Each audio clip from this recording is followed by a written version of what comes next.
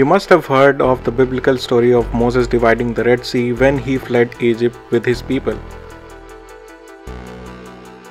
Fast forward to the 1930s to the land of Holland when they challenged the nature and the strong currents of the sea by building an ambitious project known as the Afsluitdijk.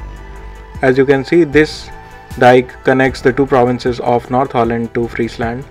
As a result of this dike, the Dutch have gained so much land. As you can see, this is the new map as we speak of the modern history, but this the picture was way different. And this map shows how over a period of time Dutch has successfully been able to claim the lands out of the sea. Decided to start our journey from Amsterdam with a pit stop in Hoorn for a snack and then all the way to Afsluit